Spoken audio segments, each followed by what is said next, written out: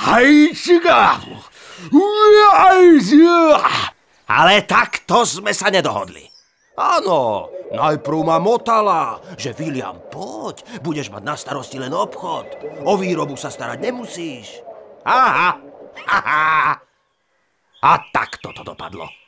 Že musím vliecť túto černicu, lebo nám došli. A vitamet treba vyrábať. Budete ho chcieť veľa, keď budeš baštiť tú zmrzku s vitamedom. Alebo budeš pri vode chlípať šejk, ktorý si zasladíš s vitamedom. Si spomeň na mňa, koľko driny a potu je za tým. Vitamed. Šťavnatý med s chuťou ovocia.